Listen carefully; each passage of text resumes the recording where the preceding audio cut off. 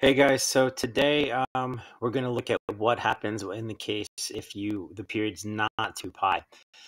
um, the, the, the formulas don't really become that different, and it just really requires a change of variable to see what happens. So what I have on this handout here, um, these are the three formulas that we derive to calculate the coefficients for the Fourier series, and this is the change of variable I'm talking about. Um, so instead of t, change it to x equals 2 pi over capital P for period t. And when I say in this case, x equals pi corresponds to p, t equals capital P over 2, what I mean is substitute pi in for x here and resolve, and you get that t equals capital P over 2. And then, of course, if you do the same thing with negative pi, you get negative P over 2. Um, and so then what that means is basically that um, if you look at this as a function of of t again, the period would become is basically p because you're going here from capital P over 2 to negative capital P over 2. That's a length of capital P, that distance. Um, and then all you have to do then is to, to, to substitute 2 pi, that, that substitution uh, as well as dx equals 2 pi over p dt um, into the the Fourier series coefficients from above here, and you get these ones that are below. I'll clarify what I mean by this a little bit. I'll draw out just to make sure that you're clear about what that all means. Um, but it's just a change of substitution. And so if you put that all into one, again, um, summation formula, index summation formula, this is what it would look like if the period is not 2 pi. Compare it to what you have above. Um, it's not really that different. You just have the 2 pi over P um, involved in that. Okay.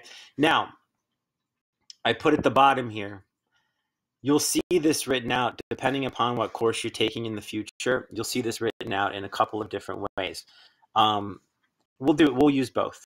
Um, but in um, in physics, they use 2L. They double. They use half a period essentially. Um, and then um, in um, physics and engineering, they use this omega, this angular frequency, and really that's just there's a great actually if you Google um, or angular velocity, even it's called. Um, let me see. I was looking at that yesterday. There was a good, maybe it wasn't. It was this. Can you see this? This shows you a good idea. Again, if you're not clear on this notation, um, this gives you a good idea of what what it is. Um, so the angular frequency then is you take the number of radians, it's radians per second essentially, um, which is they use for the speed of a rotation essentially, velocity frequency.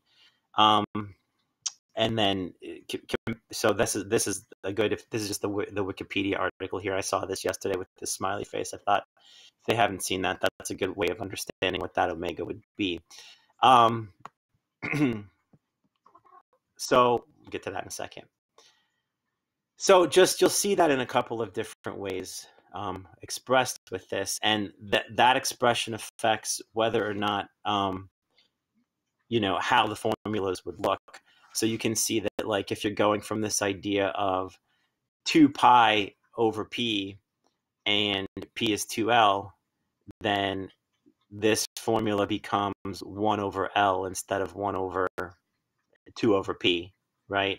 And then um, instead of having on the inside here 2 pi, uh, 2n pi t over capital P, it's just n pi t over l, right? Because uh, p equals 2l. And then the same thing down for here. If, if capital P equals 2 pi over omega, the same kind of substitution would happen if you're using it in, a, in the if you're using the angular frequency form of what you have here. So th- this, this, and this say exactly the same thing, just again with further substitutions depending upon um, how you're attacking the problem and really what course you're taking. It'll be different. So just that's another FYI um, with that. And so any when I say here that any convenient integration range or length can be used, B and N, B sub n would be found exactly the same as the as the A sub n formulas would appear with just the same substitutions in here.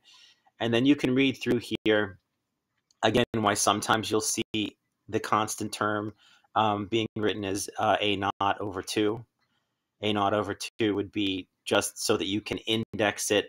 You can read through that, but just so that you can index it with the other cosines, with the a sub n formulas in there. It's not always written in that way. It's really, again, just the location of the um, sinusoidal axis or the axis of symmetry of the periodic function, which we'll see in our um, example again.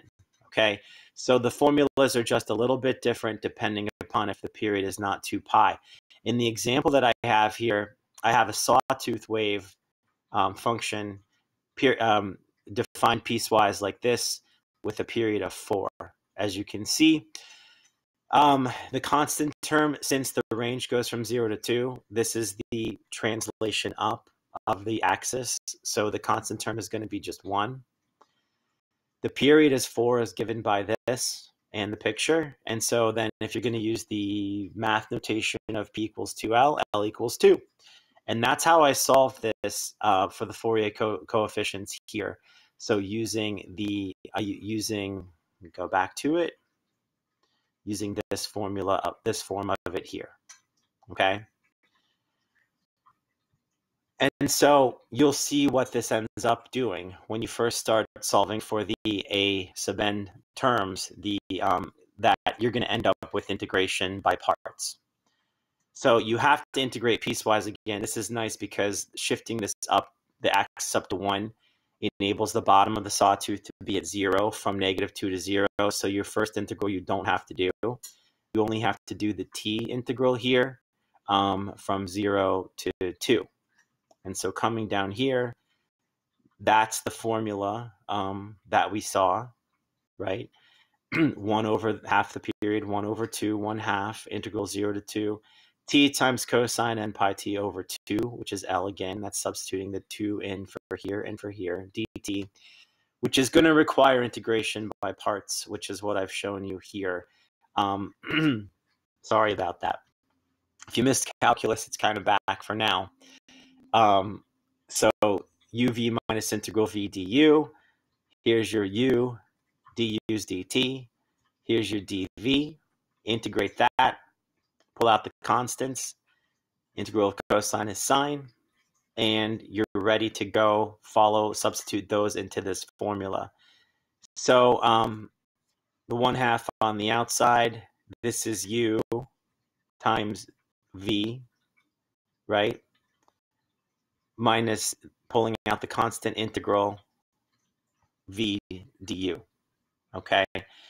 Um, carefully, carefully, carefully. Subs. You can look through the the out the arithmetic here, really, in algebra here with this. Um, what you see is the only time to be careful is this is a periodic function at the end here, and so you're substituting again n or integer values. So cosine n pi, it's either going to be pi or 2 pi or 3 pi or 4 pi. This oscillates back and forth between 1 and negative 1. So basically, if it's odd, in other words, the cosine of pi is negative 1, but the cosine of 2 pi is positive 1. So it's going to be 0 at every even one because you're going to have 1 minus 1. And then it's always going to be um, you're going to be you're, it's going to be negative one. Um, I'm sorry, negative two rather, at any um, uh, odd version of it because you're going to have negative one minus one, which is negative two times this down here if it's odd. So depending upon um, the oscillation, it's going to change. When you go to do that down here, it's another integration by parts with the sign. It doesn't all cancel out. Okay. Again, here's the integration by parts. Um, this time, it's not zero all the time. Again, the careful part, I think, just to remember is the trig here, because when it's not zero at the bottom, um, you're going to have, depending upon the the the integer value, once again, right? The cosine of pi is sometimes um, it's either one or negative one, and so the one half makes this two or negative two over n pi, depending upon the value of whether it's 1 or negative 1 with that. putting it all together it doesn't look so pretty, but that is the Fourier series for that sawtooth wave with the period of not 2 pi. Okay, so I'm going to try to schedule a hangout and um, we'll go over any questions that you have with that.